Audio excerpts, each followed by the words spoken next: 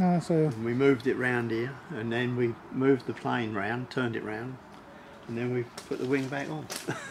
mm, That was the thing, lining it up, trying to get it back on.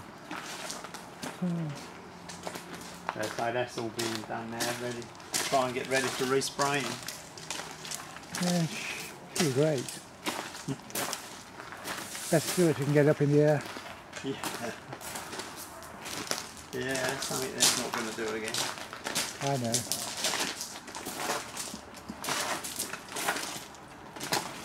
Radar?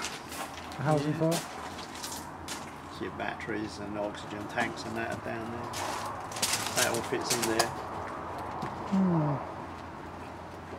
once we get round to it. Bump. Ah. Looks like Heath Robinson contraptions, doesn't it? Yeah. How they manage to fly these things? Well, that's it.